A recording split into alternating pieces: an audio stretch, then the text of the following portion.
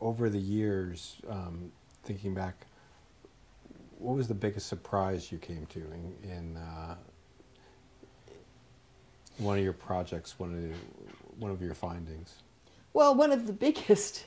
I mean, I get that. I, I get asked that often, and uh, I, am not in the kind of field where um, there are a lot of big surprises. But I really started out being very convinced that the most important motivational um, dynamic was whether you had confidence in succeeding. That it was about what we call efficacy, our ability to believe in ourselves to accomplish our goals.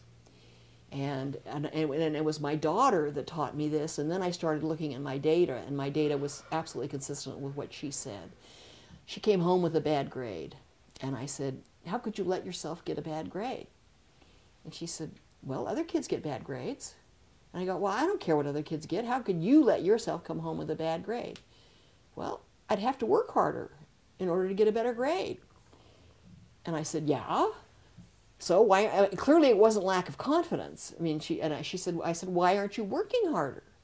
And she said to me, do you want me to waste my childhood doing schoolwork? And it was like, oh my God, I've been wasting my whole life doing schoolwork. You know, and, and, and it was this sort of sense of it really is about these values. It really is about uh, the, that most of us are not suffering from lack of confidence. Some are, and that clearly needs to be treated. But that's not the biggest problem. The biggest problem is, is uh, not wanting to do things that you think are useless. Uh, and wanting to do things that are in your that are in your own priority space and how do we make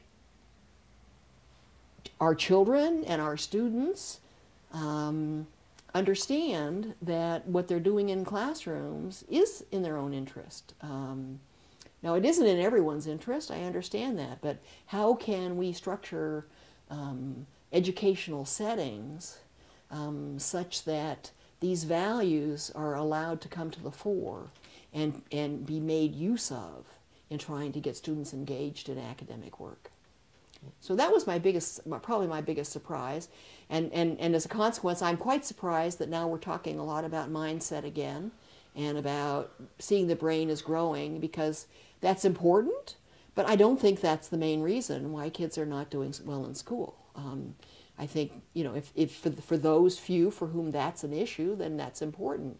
But for most of the kids, it's, it's that they don't see any reason to do this. Mean, they, they just feel like they're being coerced and they don't see why they should do this, why they should cooperate um, in this, in what they're being asked to do.